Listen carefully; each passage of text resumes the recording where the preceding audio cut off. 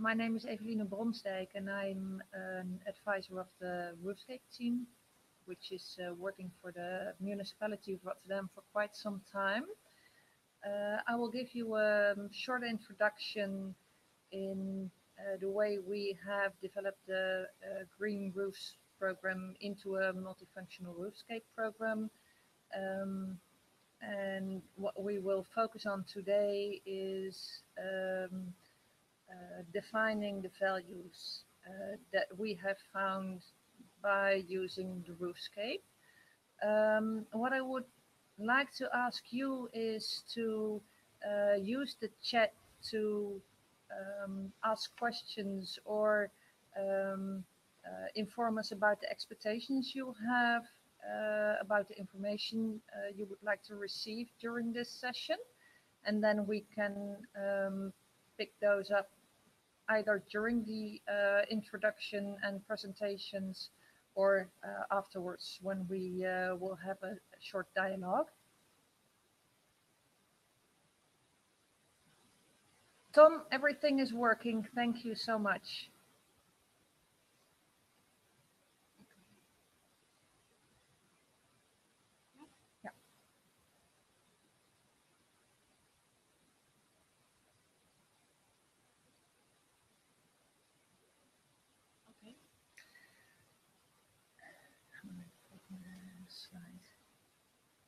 Okay, so I wanted to introduce Rotterdam uh, to you since we um, uh, promised to have an international session. Uh, we are a Delta city. Um, most of the city is below sea level, approximately 80% of it.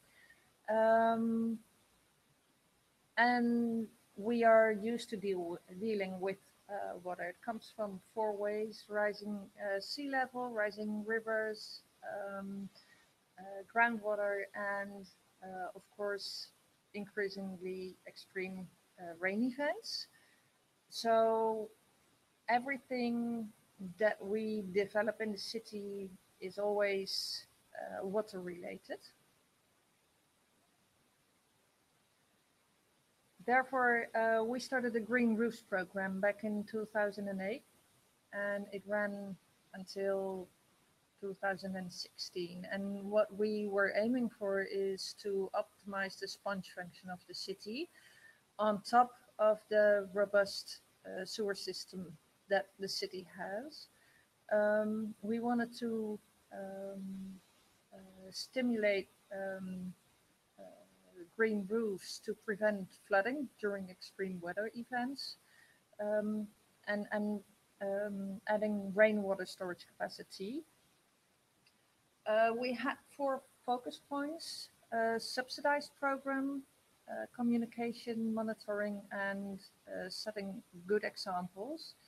Uh, the subsidized program was very important because when you look at the um, difference um, or the balance between private uh, owned buildings and public owned buildings, it is um, roughly 40% owned by the municipality and 60 is privately owned. So when you want to optimize the sponge function of the whole city, you need to include both uh, public and private buildings.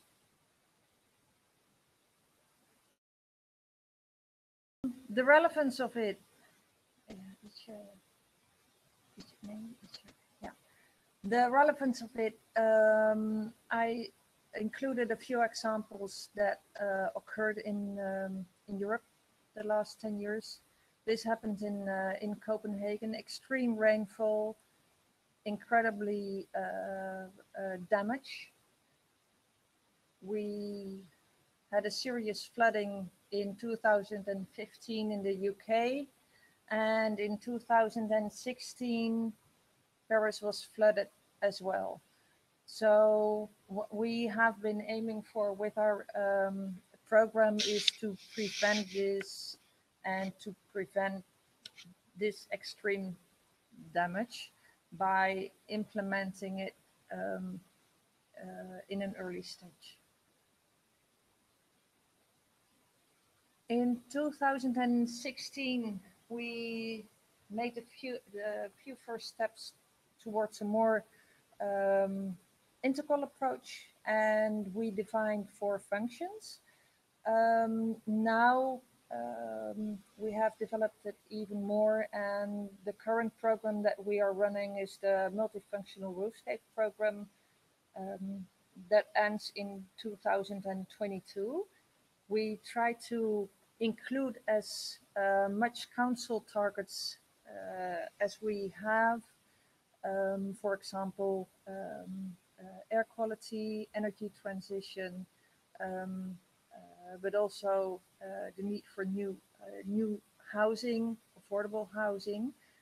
Um, and when you look at this figure, you see um, how integrated the, our approach is and what we are aiming for to take into account. The functions that we have um, uh, um, pointed out are, of course, the green roofs, uh, which provide green, biodiversity benefits, etc.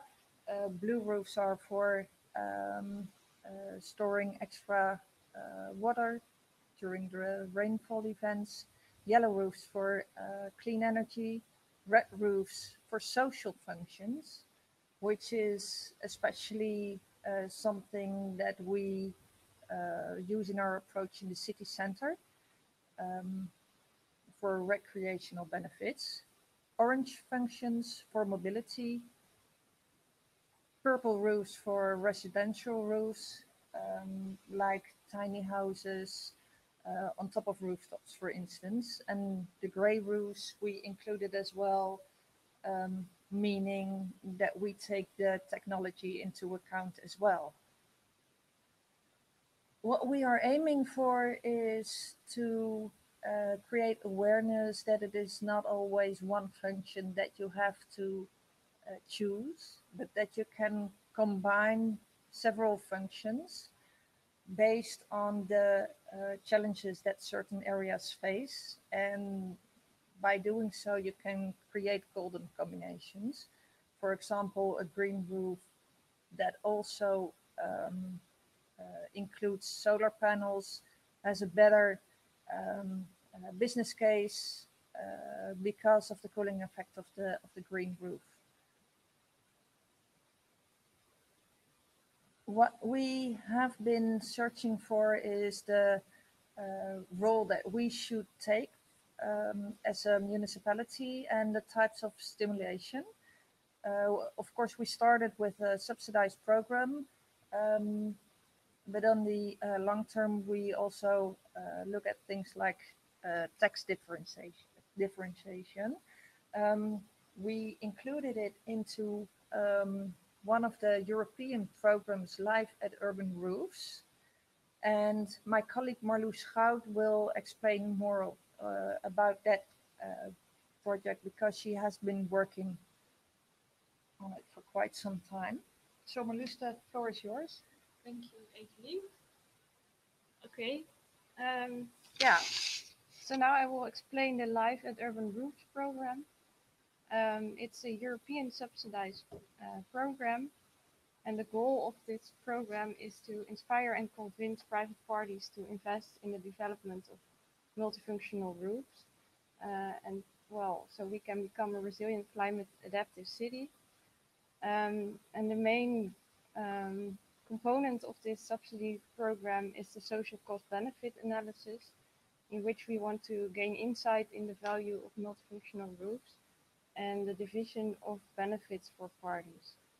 Um, we want to use it as a negotiation tool. So if you, for example, go to a party and you have an insight in what which benefits there are, um, you can, for example, um, negotiate with the hotel owner if he can use a rooftop for his hotel. Maybe he wants to uh, invest in this rooftop. Um, here I have the website of our project. Um, unfortunately, I think currently the English uh, version is not available, but we will hopefully have this back online soon. Um, so this is the collaboration uh, of the parties in Life at Urban Roofs. So we also participate with a few buildings uh, as a municipality, but we also have um, a real uh, commercial real estate developer, the Rotterdamse Vastgoedmaatschappij. We have a very big housing corporation, Vestia. Um, we have um, association, Stichting Gebouw de Heuvel. And our uh, partner city in Denmark is the city of Vejle. Um, so in this uh, project, we have different levels of uh, roofs or different levels of, of, buildings actually. So the first picture you see is the Robert Fruinstraat, and this is a climate adaptive street, or it's uh, a climate adaptive city uh, street to come because at the moment you see a lot of tiles, but we uh, developed this street as a very uh, well, green and uh, especially focused on water street. And also we want to develop the rooftops as part of this uh, plan. the city of the uh, neighborhood. It's actually a very big building, the paperclip, but it's such a big building that we consider this as a, as a neighborhood because there are like how many households I don't remember, but there are a lot. um, and on the right, you see uh, the building in the city center. That's an association called uh, the Heuvel, and they host all kind of uh, well, it's it's more like um, a social um, building. Uh, so on three different levels, we want to uh, find out what's the social cost benefit analysis of creating a multifunctional rooftop here. I do know the details about the, the paperclip. If I'm not mistaken, Je moet dichterbij, anders horen ze niet. Okay. I think if I'm not mistaken, the details of the paperclip uh, building are about 125 different nationalities living in 450 apartments. That's okay. basically it. Thank you, Eva. You're welcome. um, so this is the Robert Fruinstraat. Uh, here you can see the whole concept of the street and the roofs are, are part of it. Um, actually, um, we want to collect here the rain on the roofs and then we store them in the street in a um, yeah a combination of the, the, the cables and water so that's quite unique uh, for Rotterdam and then we store the water in the deep uh, underground so in 20 meters below ground level and that's quite an innovative concept we have it on I think two other locations in Rotterdam and we want to find out if it also works on this street.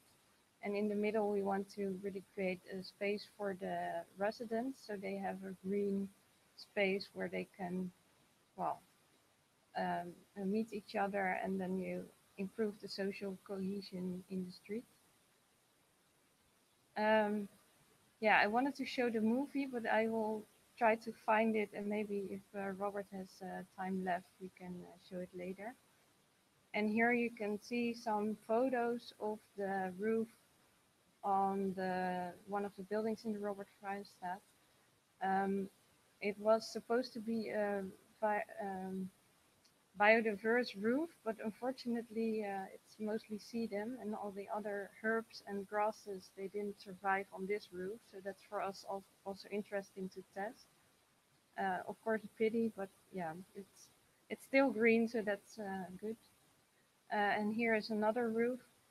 Um, it looks a bit um, minimal, but that's because uh, the bearing load of the roof was not sufficient for a very big green roof. So here we wanted to show that even if there's little possible uh, because of the bearing capacity, it's still possible to do something on your roof. And this, the people in the building uh, were complaining on and hopefully the roof um, helps a little bit to reduce the temperature in the building. Um, and this is the result of the roof on the paperclip. It's the in on the right, you can read here Langste Natuurdak, which means it's the biggest uh, nature roof of the Netherlands. And as you can see, it still has some uh, time. Uh, yeah, it's, it should grow a bit before it gets really green, but then it will probably look a bit like um, like the other building in the Robert Fruinstraat.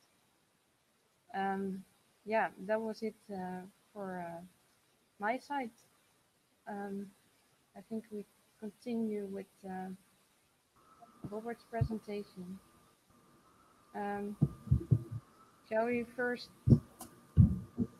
uh, do questions or shall we continue? Um, I think it's a good plan to do some questions. So you can pick a few from uh, from the chat if you want. Um, I see a few questions. Yeah, I'm sorry that the sheets couldn't be full size. I think Robert uh, is uh, mastering this, so the next slides will be full size, but for me it was not possible. So I hope you still could follow. Um, thank you for the compliment, Dick. um, and what's the plan for the paperclip? I think we just uh, showed the roof. And the Robert Fruinstraat is also involved in the mobility plan. Um, well, no, we didn't particularly. Uh, um, well, this the concept of the street was really based on the water concept, so green water, and also the combination of solar panels on on the roofs. And I think mobility was less important. Uh, maybe we should explain what we mean we, we try to keep, keep our presentations rather short to give uh, Robert more time to explain about the social cost benefit because we believe that's the most inter interesting part of today's session. Um, but uh, with mobility, um, uh, we realize that uh, when you look at the bigger companies like Amazon um, will have package delivery, they might um, become interested in package delivery on roofs because in the countryside you can just land on fields, but in cities you cannot land drones just on, on street level. Um, besides that, we are also looking on connecting uh, buildings by bridges. So uh, you can have a second layer in the in the city where you can walk from one roof to another if we have time, we can uh, try to find an example that um, gives you more insight in that. Okay, I see another question. Um, what are the biggest challenges that you experienced so far? Um, one of the biggest uh, challenges that we always face is the um, construction. And um, most roofs are not constructed to um, uh, or with a, uh, roofs are used heavily. Um, so we always have to take into account what the possibilities are. Um, what we have been working towards is the uh, fact that when you are a private house owner, and you buy a house and you renovate it, you are willing to invest in it and you're willing to invest in a new bathroom and a new kitchen because you believe that it adds quality to your way of life. And we try to include the roofscape into it because right now, basically, it's unused space. And that awareness is um, um, increasing and therefore the willingness from the uh, people in Rotterdam to invest in their uh, roofscape as well and to give it proper functions.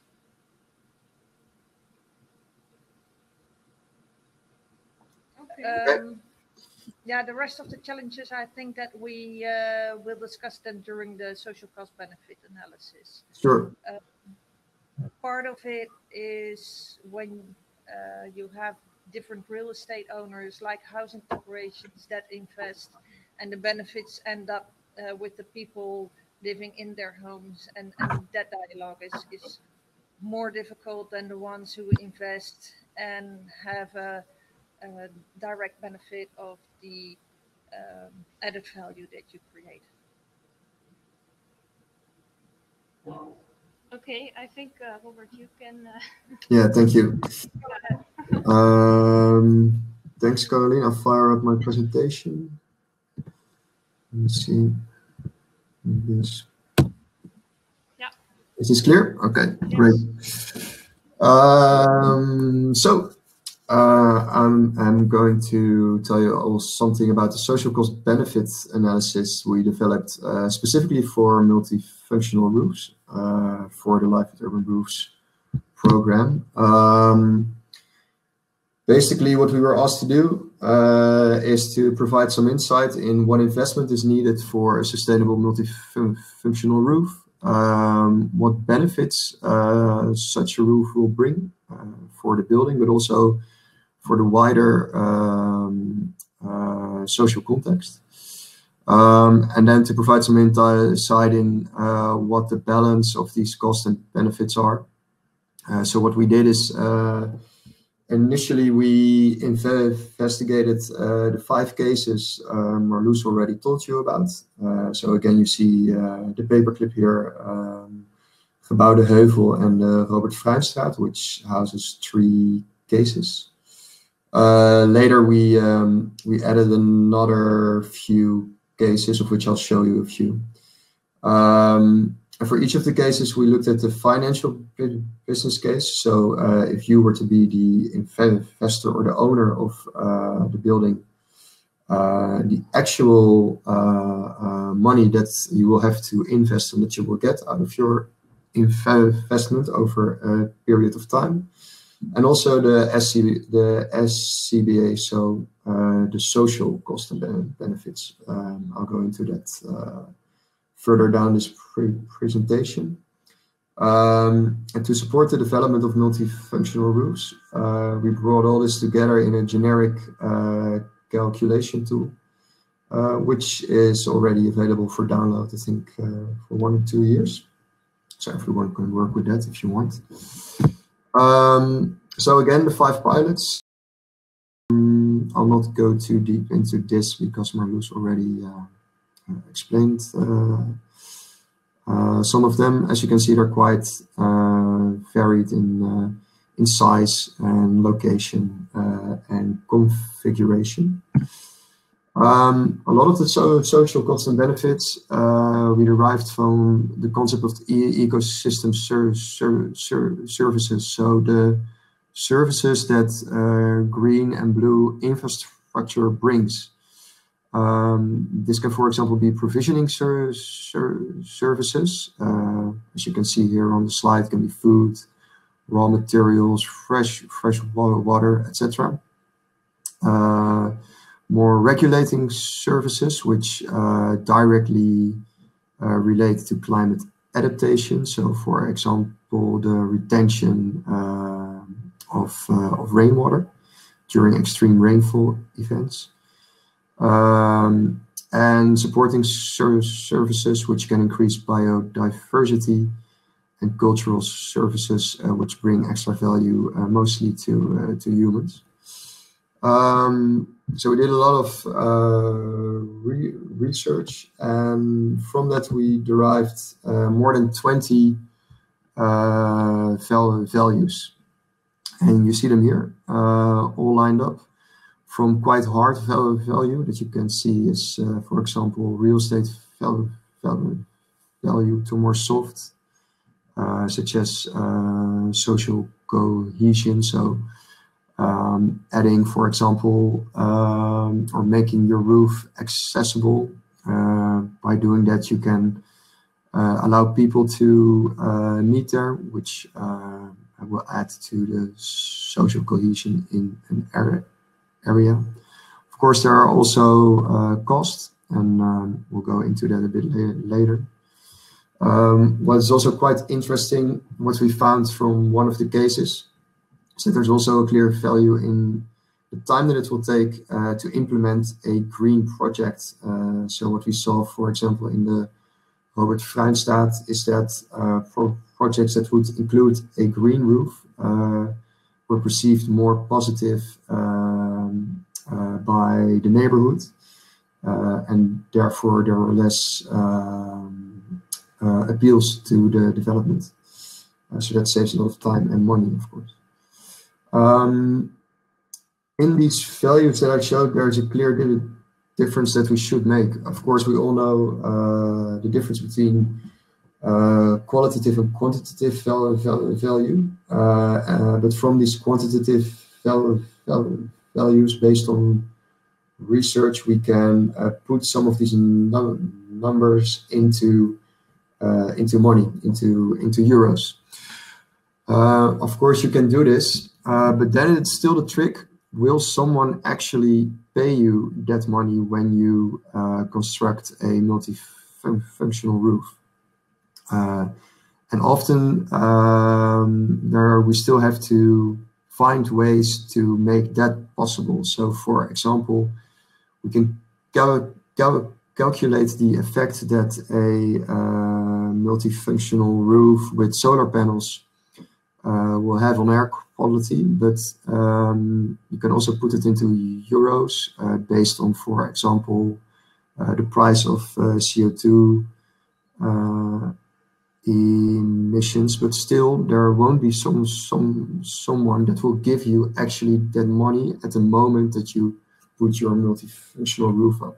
Um, on the other hand, uh, through subsidies, of course, some of these things are uh, negotiated. Um, so from the um, values that I showed earlier, uh, these are the values that we were put uh, that we were able to put into uh, into euros, and we'll go into a few of them. So, for example, the real estate value, which can go up uh, when uh, the view from uh, from any building to your roof is influenced positively. Uh, so we know that a, a green uh, surrounding surrounding is uh, will yield a higher real estate value. So you can calculate with that. Um, there's also a lot of research into uh, avoided productivity loss. Uh, so we know that uh, green environment has a positive value on uh, mental well-being. Um, you can calculate this back to uh, to the prevention of uh, productivity for a potential pa patient. Another interesting one is the avoided spatial claim for water retention. Um, in very densely built inner city areas, it can be really expensive to um, to create additional uh, water retention uh, in the case of extreme rain. Um, so actually what one of the water boards uh, and local municipality said, well, for it's worth about 500 euros for each cubic meter of water retention that you create on your roof because um, then we don't have to create that room and make these costs um, in the under or upper ground of our public space. Uh, and this is then deemed more cost effective. So that's also an uh, interesting uh, example of how you can uh, bring cost in, or bring values to, uh, to money. Um, of course, the big trick is to see how your financial business case and SCBA come closer together. So on the left side of the line, you see all the all the costs. I see this is still in Dutch, by the way. But, uh, the costs, so your investment cost, your um, uh, management cost, uh, and some of the returns uh, that you will get in your financial business case, uh, which is in this case only uh, what you will get from uh, the energy if you produce any on your roof. and perhaps if you have some expectation, exploitation before, for example, for a rooftop bar. Um, at the right, you see all these social values, but um, although they do add a lot to uh, the social context, um, they don't actually bring in money for the uh, investor, and that will be uh, a very important uh, assignment for uh, the future. Of course, it's also that um, you don't ne necessarily have to put everything into money. Um, uh, multifunctional roofs also clearly has a pure uh, aesthetic value. Um, uh, so it's not only about the roofs. Uh, in general, what we see is that um, the financial business case for multifunctional roofs is uh, negative, but the social uh, cost benefit analysis will result in a positive uh, result.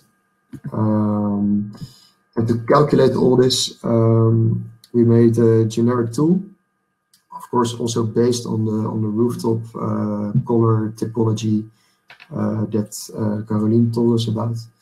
And in this, way, you can uh, analyze your roof, um, see what functions it uh, houses, and gain insight in, for example, here the financial business case for a set period of, in this case, uh, 30 years. It will give you your energy uh, uh, yield and the cost that you make. But also, of course, the, the SCBA, so mostly in quantitative value, but also some qualitative.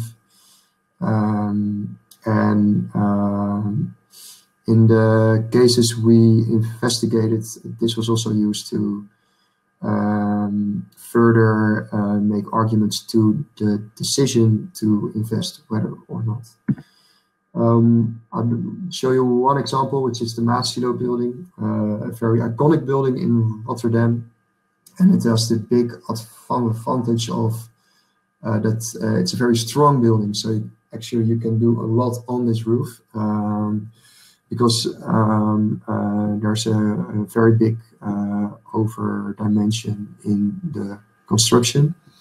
Uh, so as you can see here, uh, some uh, landscape architects were hired, uh, a competition was set, set out, um, and there are all kinds of designs for a sky garden, an event deck, a sky farm, and so so on. And what we did is uh, oh, here you can see a section of the proposal. What we did is we uh, calculated two alternatives. What will yield uh, the best case if we make the roof uh, publicly accessible or limited to private use by the tenants of the building. Uh, in this case, uh, the alternative where the roof becomes publicly accessible um, had the most social uh, um, uh, gains as a result. Um, and that was the example. So I hope I um, uh, I learned or um, yeah, I could learn something about uh, social values that that come with an urban roof. Um, and if you have qu any questions, then you can put them through through the chat.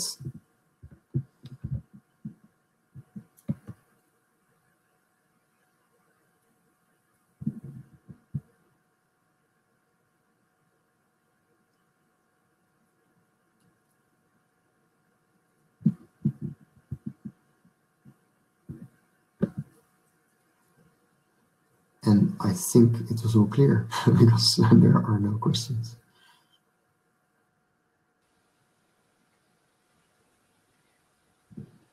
Is there anyone who has got any questions left to ask about the social cost benefit analysis or the policy? Could you please provide a bit more detail with your rain retention example? Um, so normally, um, specifically in very dense inner city areas, um, municipalities are really lo looking to um, to store rainwater to increase buffering, to prevent uh, damage to uh, to houses or or roads from not being um, accessible anymore in the when an extreme downpour hits. Um, but of course, this will cost you, uh, and uh, specifically when there is a lot of spatial claim on uh, on an area because um, it's built up. there are parks. There is there is a road um, then it can be very costly uh, to create additional water retention. So instead of making extra costs um, in the uh, in the outside area, area uh, municipalities and water boards are willing to to sponsor you uh, to avoid them to uh, to make big uh, to make larger investment costs. Um, from a few sources, this uh, we source that this could amount up to 500 euros for each uh, cubic meter of rainwater retention that you create on your roof.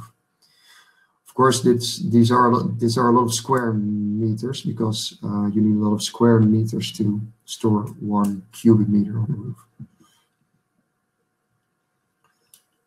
And then there's a question from Peter. What do you think is needed to create a more positive, healthy business case for multifunctional roofs? Yeah, it's a it's a great question. I was uh, answer with my colleague uh, Marloes. Um, what I would like to add about the um, rain retention example, when we started the Green Roof program back in 2008, we started with a subsidized program where we had a water storage demand of 15 liters per square meter and the current demand is 30 liters per square meter. And um, in another subsidized program, we have um, um, a polder roof or a dynamic retention roof that can of holds between the 60 and the 80 liters per square meter. And we think those are the numbers that really add up when you are working on uh, water management uh, related topics. Um, the challenge that we face right now, uh, to come back to the question, which creates a healthy business case, is um, to integrate all kind of um, possibilities it offers. Because basically it is unused space and in Rotterdam we have 18 and a half square kilometer of roofscape um, waiting for us to give it a proper function. And what we are aiming for is to integrate all the challenges that we face lack of space, energy transition, economical aspects, the uh, social challenges, the uh, climate aspects, and make a comprehensive plan. And um, that is what we are currently are aiming for to to uh, try to get uh, all the different programs looking into the same direction and, and working together.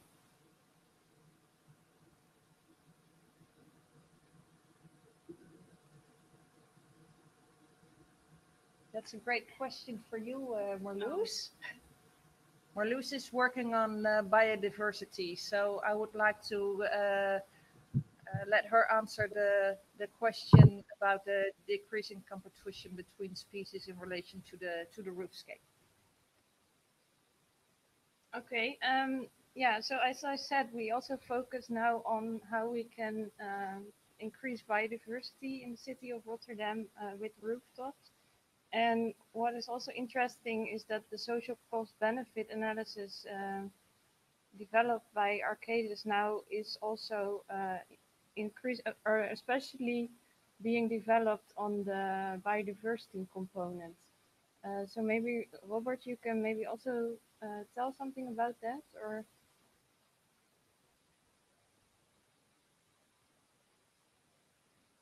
Sorry, Marus, again. So, uh, well, the question is, do you think green rooftops can help with decreasing competition between species? I, I guess it uh, has to do with biodiversity and how rooftops can be, uh, uh, well, can help biodiversity. Mm. And I just said that you're uh, especially um, developing this biodiversity component in the tool. Um, yeah, we're seeing how we can incorporate it in the next version of the tool. That's true. Um, although I'm not sure about uh, competition between spe species, what we saw on the um, on the paperclip is that actually uh, four types of of uh, specific uh, habitats were created uh, throughout the roof. So in that sense, um, uh, I think roofs can contribute to that goal. Yeah. Maybe a nice um, example we found um, on the medical medical center uh, we found a new species of, uh, well, some type of bee. Actually, it was a wasp. And um, so, so we see uh, that the rooftop can especially be a habitat for uh, species. So I think indeed um, the rooftops can be uh, a habitat for, um, or yeah, a habitat for species. Also, um, well, I invest. I particularly have knowledge about the bees and uh, depending on the stepping stones you create, both on ground level and on the on the roofs, can uh, well create uh, nice uh, living areas for those uh, insects. does that? Um, yeah, it answers the question really nice. Okay. Um, any other questions? Um, I didn't find the the movie yet, unfortunately. So that would have been a nice um, end of the session, but um, I see we only have three minutes left, so maybe some other um, listener has a question about the Roofscape program or about the tool itself. Um, maybe I can put the um, link of the website again, so you can also see where you can find more information about the Life at Urban Roof project. I will uh, look it up.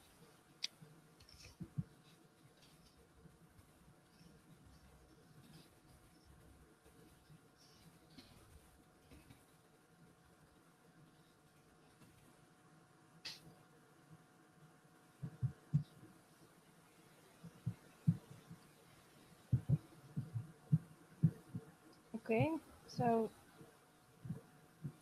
this is our website. Now it's all in Dutch, but here, um, well, hopefully it will be in English English soon because we had we had it, but now it's gone. Oh, here this. Uh, I can still show the movie, but it's in uh, in Dutch, so I will uh, show it. It will. It's only one or two seconds.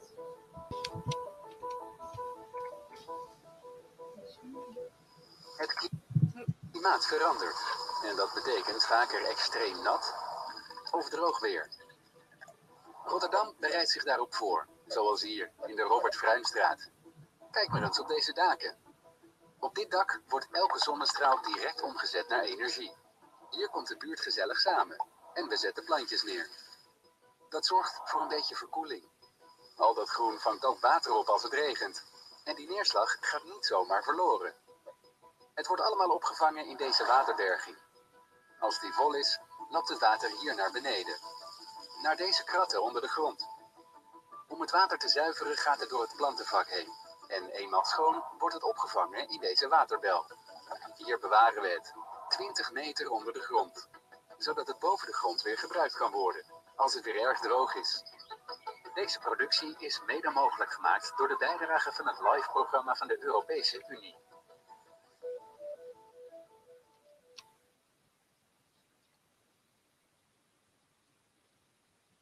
Okay, so um, that was the Robert Fruinstraat.